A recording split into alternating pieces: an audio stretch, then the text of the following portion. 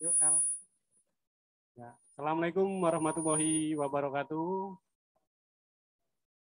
Selamat sore, selamat berjumpa kembali. Ini saya perkenalkan, saya Imam Setio Budi dengan rekan saya. Siti Elisa Rahmawati. Ya, kali ini kita akan membahas mengenai hal yang sangat lagi viral kali ini tentang CPNS. Nah, menjadi sebuah abdi, eh, seorang abdi negara merupakan eh, salah satu, bukan salah satu lagi ya, banyak cita-cita banyak orang untuk menjadi abdi negara. Karena eh, sebagian orang bilang bahwa menjadi abdi negara adalah memberikan sumbangsi nyata kepada negeri. Nah, di tahun ini, di tahun 2021, pemerintah kembali mengadakan rekrutmen CPNS 2021. Dan tantangannya di tahun 2021 semakin meningkat. Kenapa? Karena ini digelar di pandemi COVID-19 ini. Nah, kabar gembira buat kalian semua yang ada di rumah ataupun di mana saja yang menyaksikan secara live baik dari, baik dari Zoom maupun YouTube. Kabar gembira kami dari Prodi Manajemen Informatika mempersembahkan sebuah acara yang sangat uh, berguna bagi kalian yang daftar CPNS 2021 maupun kalian yang saat ini masih jadi mahasiswa ataupun siswa yang bercita-cita menjadi CPNS, yaitu sebuah acara podcast Siap CPNS 2021 bersama Manajemen Informatika. Seperti itu, Kak Eli. Iya, Pak. Jadi sekarang kita ini ada di zona informatika ya Pak. Kita berpindah dulu dari zona nyaman ke zona informatika karena di zona ini juga nggak kalah nyaman. Seperti tema kita nih yang sangat bombastis, siap CPNS 2021 bersama manajemen informatika Universitas Muhammadiyah Pekajangan Pekalongan. Dan alhamdulillah yang kita kita sudah kedatangan penanggung jawab kegiatan pada sore hari ini yaitu Ketua Program Studi Manajemen Informatika serta Sarjana Informatika. Siapa lagi kalau bukan Bapak Imam Rosyadi. Selamat sore Pak Imam. Kabarnya gimana Pak? Sehat Pak? Uh, sehat Alhamdulillah. Nah, ngomong-ngomong, aku mau jujur nih Pak, sebagai mahasiswanya Pak Imam, aku tuh amazed banget sama Pak Imam yang tampilannya sekarang tuh masih kelihatan muda, energik, dan gak kalah nyentrik gitu sama mahasiswanya Pak. Alhamdulillah ternyata masih ada yang suka dengan saya. Ya, Terima kasih. Lanjut, ini kita juga kedatangan tamu berikutnya adalah alumni dari manajemen informatika yang telah sukses menjadi CPNS ya. Ini ada Mas Munir. Selamat datang Mas Munir. Mas Munir ini lulusan ya. tahun berapa Mas? Saya lulusan tahun 2016. 2016, iya. kemudian diterima CPNS tahun? Eh, diterima tahun 2019. Oh, tiga tahun kemudian. Iya. Ini percobaan yang keberapa atau memang sekali atau gimana? Enggak, ini CPNS yang penuh perjuangan. Saya mencoba uh, tiga kali. Tiga kali, luar biasa ya. Kemudian kita juga ada tamu berikutnya, ada sebelah Kak Eli, siapa? Silakan diperkenalkan. Saya Aslamaruddin, uh, Wakil Rektor 3 Universitas Muhammadiyah Pekajangan Pekalongan yang juga sebagai dosen manajemen informatika. Dulu juga mengajar Mas Munir ya, Mas Munir ya. Iya, Pak.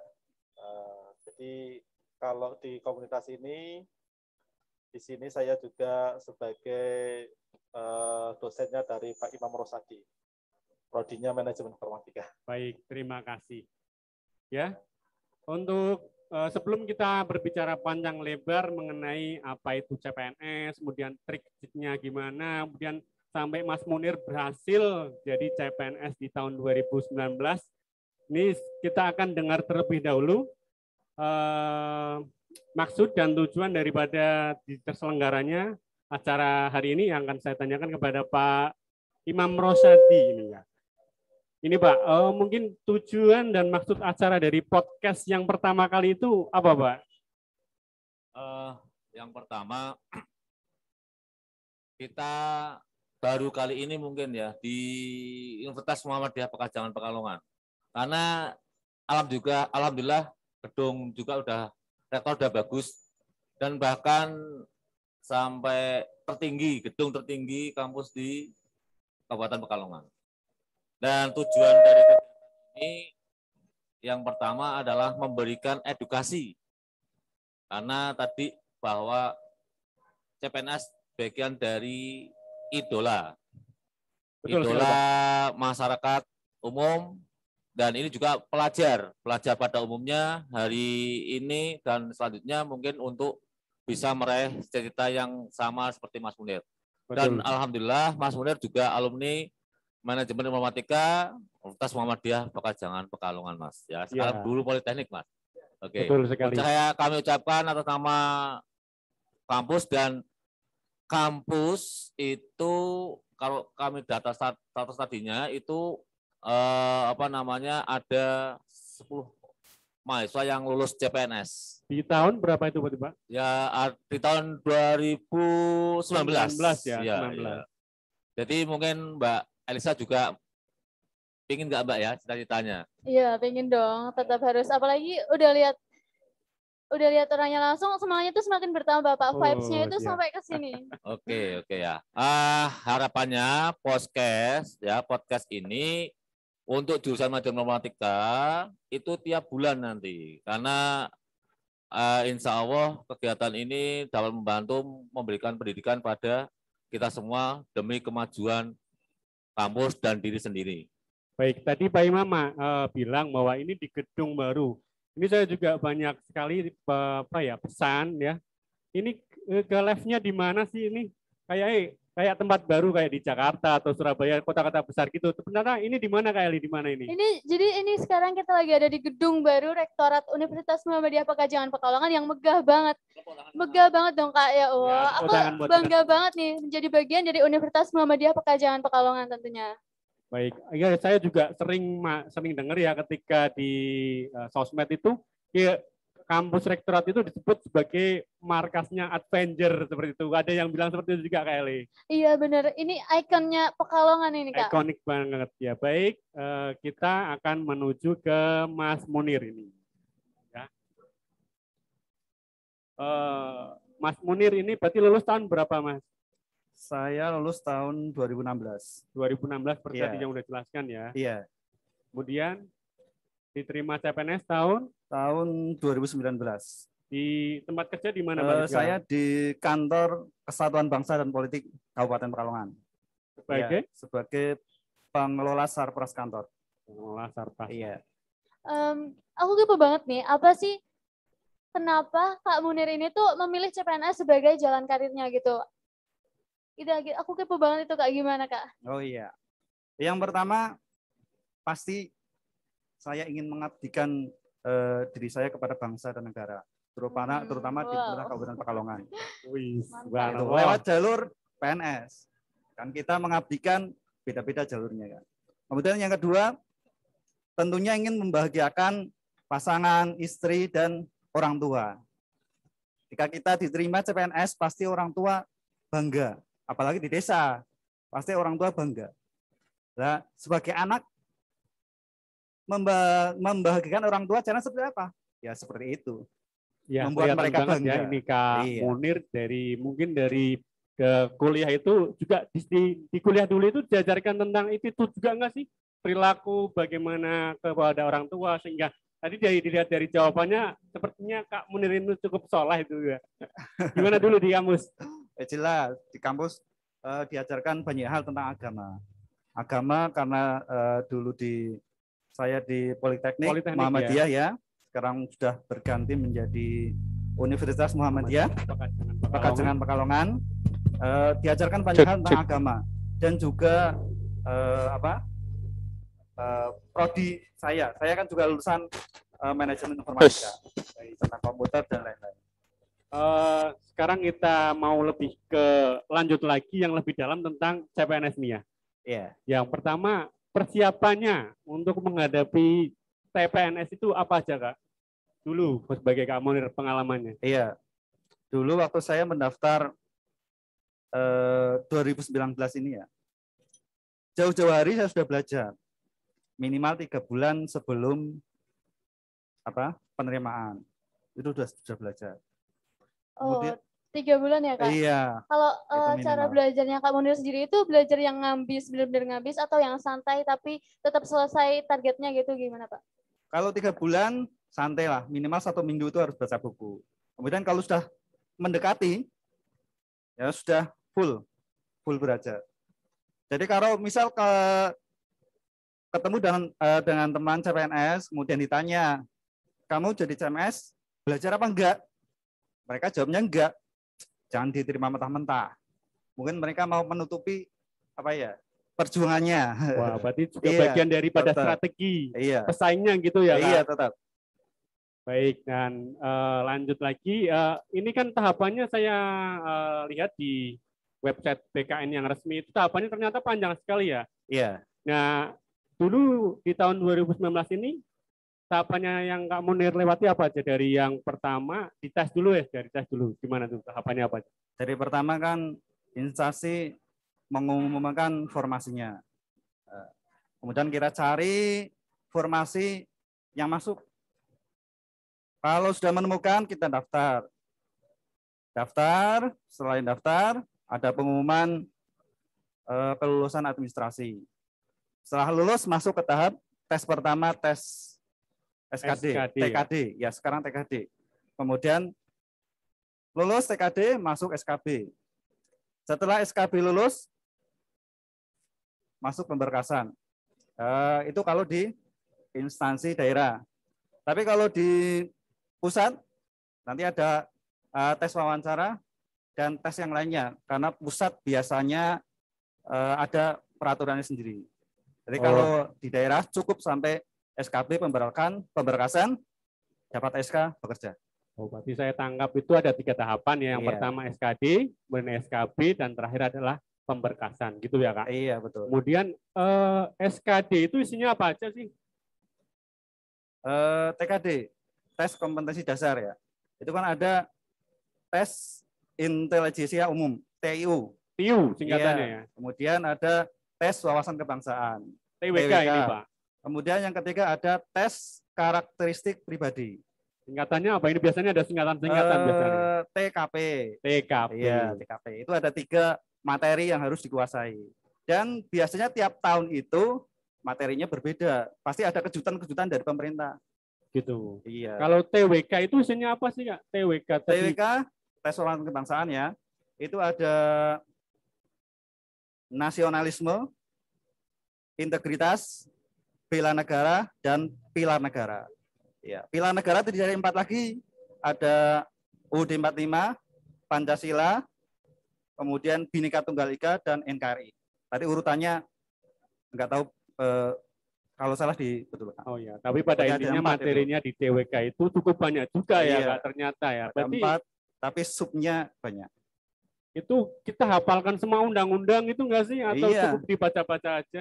Dihafalkan, walaupun nanti yang keluar cuma satu, dua, tetap harus dihafalkan. Tetap harus dihafalkan. Iya. Tadi ke SK eh, TWK, kemudian nanti TIU. TIU itu apa? Iya. Saya tahu TIU, TIU berarti. ya? tes intelijensia umum. Intelijensial Ya, umum. ya. Isinya apa itu, Kak? Itu ada verbal, eh, figural, dan satunya numerik. Numerik apa ya? Iya. Numerik. Iya. Ya. Itu ada tiga. Verbal itu apa berarti verbal, Verbal tentang itu biasanya apa yang tentang, dites di dalam tes itu? Eh, analogi ya. Tentang Analogi. analogi. ya. Terus figural tentang itu, yang kotak-kotak itu. Yang gambar-gambar Iya, gitu berarti ya? biasanya Misalnya satu titik, dua titik, kosong, tiga, eh, empat titik. Nah, itu jawabannya yang kosong itu apa? Tiga titik. Itu Oh, berarti mengurutkan secara gambar, gampangnya seperti itu. mengurutkan gambar dari gambar A, B, Iya. menjadi C-nya itu apa seperti Iya, itu. Ada Ah, pencerminan juga. Kemudian Terus? yang yang ketiga tadi Numerik. numerik. ya. Itu ada hitungan, perhitungan, ada deret angka. Deret Itu- angka. Iya. Deret angka itu pasti keluar. Saya tes tiga kali, deret angka itu keluar semua. Walaupun ada satu, dua, tiga. Gitu. Oke, tadi udah SK TWK udah, kemudian TIU sudah, TKP sekarang. TKP berarti yang dites itu apa dan tujuannya mungkin dari tes itu apa kamu? Iya.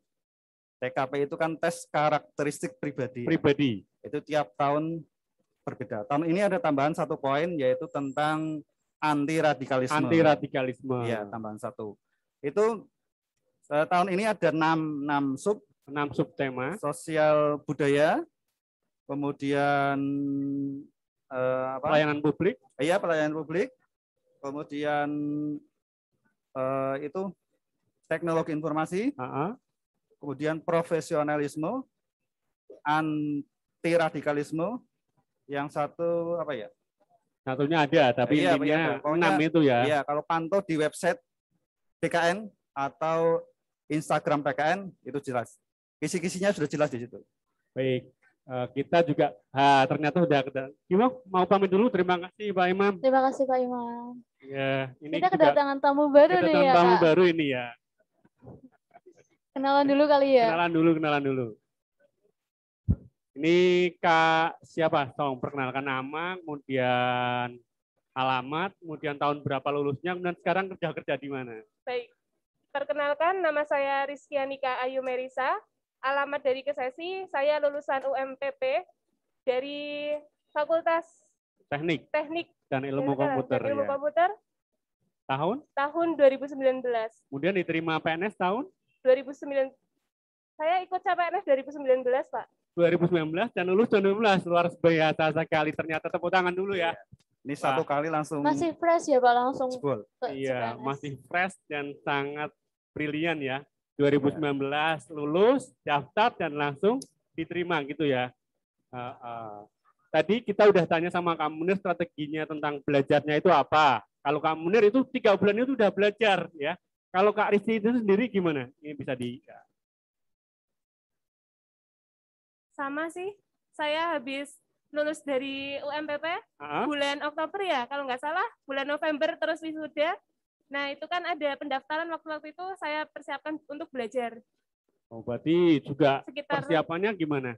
Belajar selama satu malam penuh atau tiap hari belajar berapa jam seperti itu?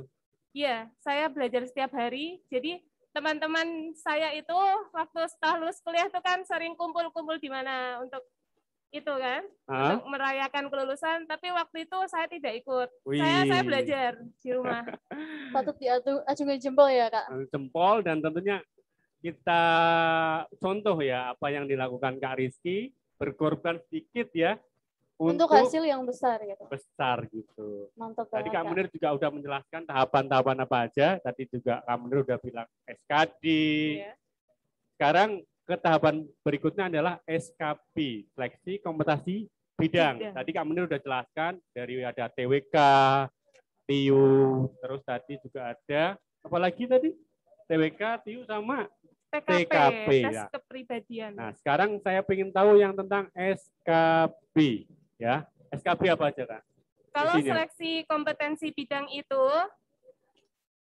tentang apa yang kita akan itu apa namanya Formasi yang formasi yang akan kita lamar lamar. di betul. tempat kerjanya. Kalau dulu berarti nama formasinya Kak Rizky apa? Saya ikut operasi siak karena kebetulan waktu itu yang lulusan D3 itu ada formasi operator siak di Dinduk Capil. Satu di Capil. formasi. Iya. Berarti bagian capil itu kalau saya nggak salah itu bagian penerbitan apa aja kali? Penerbitan. Eh, pembuatan KTP terus kakak gitu ya Mbak. Iya, betul sekali. Berarti Aku kalau udah bikin KTP nih sayangnya. Kalau belum mau ketemu lagi deh ke situ. Nanti kalau pergantian status ya Kak ya. Wow, oke. kemudian ya pada intinya adalah eh, kompetensi sesuai apa yang akan kerja di tempat kerjanya itu ya. Iya, betul. Nah, di tempat kerja itu eh, tugas dan wewenangnya Kak Rizky itu apa aja di sana? Banyak banget ya. Sebagai pelayanan apa aja? Saya sebagai pelayanan publik. Itu melayani bidang apa berarti? Saya berada di seksi, seks, kebetulan saya berada di seksi inovasi pelayanan dan kerjasama. Inovasi, pelayanan, dan kerjasama. Nah ini nih, alhamdulillah nih, sewaktu saya di Dukcapil nih, jadi instansi yang bekerja sama dengan di Dukcapil itu ada Rumah Sakit Islam PKU Muhammadiyah, Oh, Terus- saudara kandung kita juga ini Iya. UMPP ya. ada RSIA. Pekajangan, iya, Aisyah Pekajangan. iya betul. Jadi di situ kami dari instansi di Dukcapil bekerja sama dengan tiga rumah sakit sebenarnya, tapi yang dua rumah sakit itu sudah mulai berjalan Bekerja sejak sama. Bekerja sama sejak bulan Februari. Berarti ketika dulu kita flashback dulu ke belakang sedikit ya tentang kuliahnya dulu bagaimana ya di kampus. Sehingga eh, ajaran apa mungkin yang Kak Rizky dan Kak Munir? Kak Munir dulu oke siap. Kak Munir ajaran apa yang dulu diingat dari dosen misal petuah tentang semangat atau apa dari dosen-dosen dulu dosennya siapa dan petuahnya mungkin apa yang diingat sama Kak Munir dulu silakan Iya. dosen di Pastikom itu baik-baik semua. Baik semua. Saya menyelesaikan studi tepat ya, saya 2016 lulus 2000 eh dua, ya 13 lulus 2016. 16. Iya, itu tepat. Eh, Dosen-dosennya baik sekali. Saya bimbingan waktu itu tugas akhir saya eh, sama Pak Aslam. Pak Aslam. Eh, iya, itu pembimbing satu saya. Kemudian pembimbing duanya Pak Fikri. Pak Fikri. Enggak Ya. kenal? Ya. Iya. Ah, itu mereka sangat membantu sekali dalam menyelesaikan tugas-tugas akhir saya dan memberikan motivasi-motivasi yang baik buat eh, kehidupan saya sehari-hari. Tapi bener banget sih, menurut aku juga dosen-dosen Fastikom itu benar-benar asyik dan baik banget kalau kalau pemimpin daerah itu merakyat, kalau dosen Fastikom itu memahasiswa ya kak. Sangat bagus sekali nih setelah dari Kak Eli ya, memahasiswa gitu. Jadi memang dosen di Fakultas Teknik khususnya di manajemen informatika itu terkenal humble ya, humble dan mudah bergaul dengan mahasiswanya. Dan masuk ke tahap berikutnya adalah tahap pemberkasan ya. Nah, tahap pemberkasan kan butuh surat-surat nih dari kampus ya. Pengalaman dari Kak Munir dulu, pengalaman pelayanan ketika minta surat-surat, misal misal apa ya akreditasi ataupun apa pelayanannya gimana di Fakultas Teknik? Pelayanannya sangat cepat. Saya masuk minta waktu itu kan legalisir ya, legalisir ijazah eh, sama akreditasi. Akreditasi di website sudah ada, tinggal download, kemudian kita cetak, kita eh, apa legalisir. Oh gitu. Cepat. Ya. Berarti kita nggak perlu khawatir juga ya. Ini kan masih di tengah pandemi COVID ya. Kita juga nggak perlu ke kampus juga, sudah bisa di websitenya ada ya. Iya, Jadi di website. program manajemen informatika ini terakreditasi gitu ya. Iya betul Ya. sekali. Untuk eh, kesan-kesannya Kak eh, Rizky gantian sekarang. Pengen tahu eh, pelayanan ketika mengurus berkas-berkas di Fakultas Teknik. Silakan Kak. Baik, waktu itu saya me, apa namanya? Download Malak. ya, Nah, download. Apa Mas? Sertif akreditasi melalui website juga disuruh oleh Pak Agung ya waktu itu ya. Oh iya. Iya, waktu awal-awal, waktu pertama kali. Soalnya kan tadinya status politeknik ya, terus bergabung menjadi UMPP seperti itu. Jadi dulu pakai website ya, nggak langsung Iya. ke kampus atau ke kampus? Tidak, saya menghubungi pihak kampus dulu. Oh Pak gitu. Agung. Berarti bisa dihubungi langsung, kemudian ke websitenya Iya, gitu ya. betul. Nah ini eh, Kak, tadi udah ternyata perjuangan jadi CPNS itu cukup sulit ya. Apalagi tadi Kak Munir itu tiga kali tes loh teman-teman, tiga kali tes 2017, 18 dan 19-nya itu diterima. Dan apa sih asiknya berjadi PNS itu apa asiknya? Kenapa layak untuk diperjuangkan? Apa Kak Munir? Iya, yang pertama tadi sudah saya sampaikan mengabdikan diri kepada bangsa dan negara. Kemudian yang kedua, jenjang karirnya itu jelas. Jenjang karirnya jelas, gajinya Juga jelas Ah, sekali. iya. gajinya jelas jelas. Eh, saya masuk eh, dari D3 ya. Ketiga, Iya. Berarti langsung golongan 2 C. langsung 2C. dua Iya, di- bisa dilihat gajinya 2C itu berapa? berapa di tabel-tabel Iya, dicari ditabelkan. di internet itu Iya, banyak itu yang sudah tersebar luas. tergantung Iya. itu ya peraturan pemerintahnya itu ya. Iya. Itu aja. Asiknya apa asiknya? Kerjanya atau gimana? Tekanannya kerja ringan atau apa kak? Ya enggak. Kerja tetap Tetap kerja tanggung tetap jawab. kerja, tetap tanggung jawab sama. tetap iya, tetap sama. Malah kita pulang eh, berangkat pagi, pulangnya juga sore. Karena kan lima hari kerja juga. Eh, Lima hari kerja hari Senin sampai hari Jumat. Jumat. Iya. Baik. Sekarang ke Kak Rizky nih Kak Rizky ya. Yang masih fresh ya 2019 lulus. Kelly, kasih pertanyaan Kelly. Ya, aku mau tanya nih, aku mau tahu banget Kak Rizky sama Kak Munir itu ada kenangan tersendiri nggak di Fastikom yang bikin ke- keinget terus gitu sama Fastikom Kak? Ada. Ada, bisa pasti ada. diceritain dong pastinya. Iya, saya terkenang sekali dengan dosen-dosen ya. Hmm, hmm, hmm. seperti Pak Teguh ya. Kemudian ada Pak Bowo sama Pak Hambali yang dulu jadi pembimbing saya. Dan saya terngiang-ngiang dengan kata-kata Pak Ambali. Apa itu Kak kata-katanya? Kasih tahu kami, kasih tahu. Kalau kamu ingin sesuatu itu kamu harus modal dulu seperti itu. Oh gitu.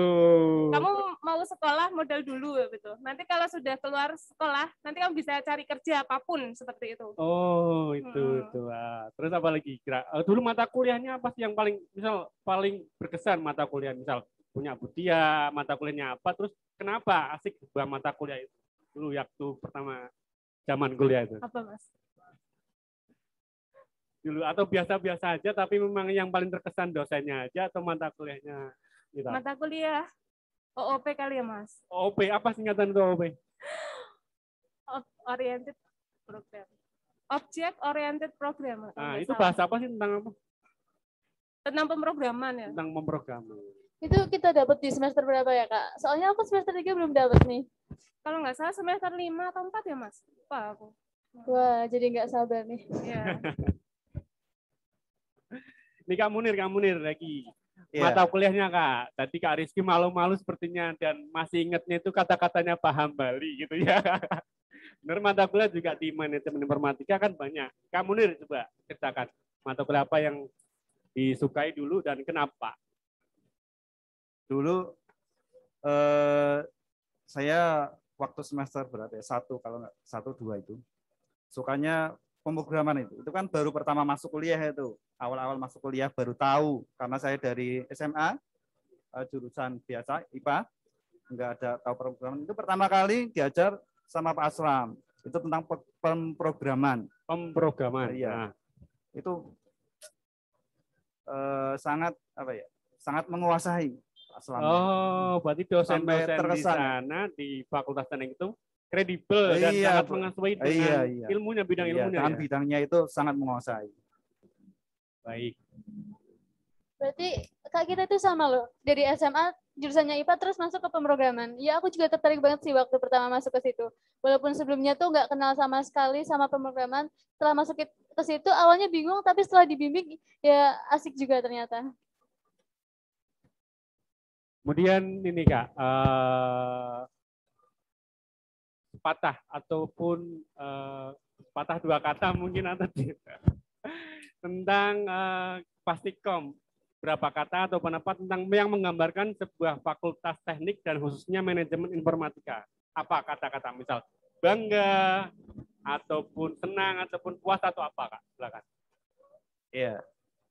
Pastikom, Fakultas Teknik Teknik dan dan ilmu, Ilmu komputer. Komputer, iya. Itu hebat dan Hebat. yang pasti agamis. Agamis. Iya, jelas. jelas sekali. Itu sangat penting sekali di dunia saat ini yang globalisasi dan lain sebagainya. Fondasi agama itu memang sangat penting sekali. Iya, Benar ya betul. kamu Iya, ya? betul. Setuju. Dan Kak Rizky, apakah kesan yang menggambarkan Fakultas Teknik dan khususnya manajemen informatika? Manajemen informatika mas. Iya. Apa mas? eh, apa? Menyenangkan aja atau memang berkesan sekali dosennya gitu aja? Bangga sekolah di sini. Saya bangga Bangga. sekolah di UMPP di Fakultas Teknik, Teknik dan, dan ilmu komputer. Ilmu Komputer. Nah, sebagai informasi ya, UMPP ini sebenarnya eh, gabungan daripada tiga perguruan tinggi di Pekalongan. Apa aja Kak Eli? Iya benar banget. Yang pertama ada Sekolah Tinggi Ilmu Ekonomi Muhammadiyah Pekalongan. Yang kedua ada Sekolah Tinggi Ilmu Kesehatan Muhammadiyah Pekajangan Pekalongan. Pekajangan Pekalongan. juga. Dan, yang terakhir itu fakultas kita. Sebelumnya namanya Politeknik Muhammadiyah Pekalongan. Politeknik Muhammadiyah Pekalongan. Berarti ini lulusan Politeknik, tapi sekarang sudah berkembang menjadi Universitas Muhammadiyah Pekajangan Pekalongan. Bangga nggak Kak lihat perkembangan UMPP sekarang dan khususnya Fakultas Teknik? Bangga sekali. Bangga sekali. Eh, lihat gedung di belakang. Wah, itu sangat megah sekali. Di Kabupaten Pekalongan mungkin ini gedung yang tertinggi. Wih, Iya. Sek. Iya, iya, iya. Nah, tadi kan bangga ya sekolah di sini banget. Aku mau tahu kak, reaksi keluarga waktu kakaknya itu keterima menjadi PNS itu gimana? Bangga juga nggak ya? Bangga. Waktu itu saya mendaftar di kan waktu itu tesnya di Semarang ya. Saya diantar sama anak sama istri. Eh, tapi kan sekarang tesnya itu sudah transparan. Berarti bisa dilihat di channel YouTube-nya itu. Jadi mereka iya, hitungnya BKN. Mereka bisa melihat pergerakan nilainya. Eh, yang melihat itu sambil berdoa supaya terus naik ke atas. Oh gitu. Iya. Berarti Bangga sekali. gini gak gini, lebih ke perasaan ketika pertama kali, oh nama aku di atas nih, terima Munir gitu. Reaksinya apa? Bersujud syukur atau apa? Di keluarga ya, khususnya yang keluarga, kebagian keluarga itu gimana? Iya. Eh, waktu itu kan juga eh, nilai saya sempat di bawah itu sebelum sebelum sebelum berakhir. Nah, kemudian istri saya kan yang lihat itu. Ah. Ah, istilahnya berdoa. Itu kan ada masjidnya berdoa di masjid. Alhamdulillah akhir sesi itu saya bisa naik. Oh Ah, gitu. iya. Tapi kan saya nggak tahu saya eh, lolos apa enggak. Kemudian saya keluar ketemu dengan istri saya Ah, eh, baru tahu kalau nilainya di atas. Senang Iya. sekali. Kak Rizky sekarang, Kak Rizky. Kesan pertama kali ketika tahu namanya lulus bagi CPNS. Apa?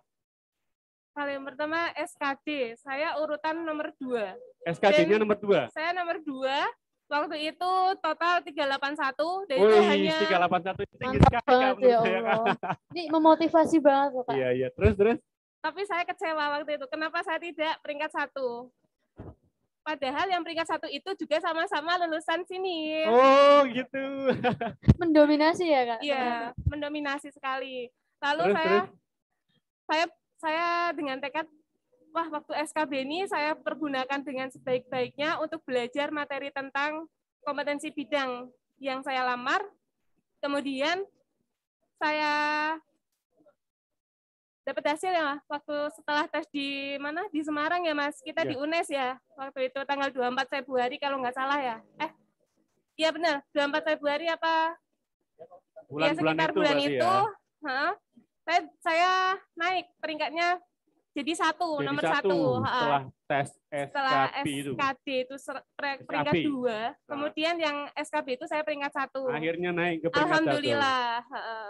Perasaannya gimana tadi? Yang ketika pengumuman udah pengumuman misal udah pengumuman nih diterima gitu perasaannya gimana? bangga alhamdulillah bersyukur sekali Bersyukur orang tua sekali. juga pastinya sangat bersyukur karena cita-citanya tercapai, tercapai. Ini juga berarti dorongan dari orang tua tentunya ya. Eh, acara demi acara kita telah lalui ya. Tadi banyak tips-tips sekali dari teman kita alumni manajemen informatika yang berhasil lulus CPNS tahun 2019 dan lebih keren lagi ini Kak Rizky 2019 lulus dan 2019 juga langsung diterima CPNS. Gitu Iya. ya.